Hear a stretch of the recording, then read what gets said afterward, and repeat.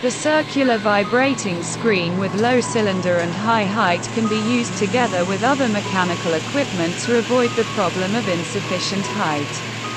Such sieves are widely used in screening short fiber materials, medicines, etc., and can effectively reduce dust and improve the comfort of the working environment.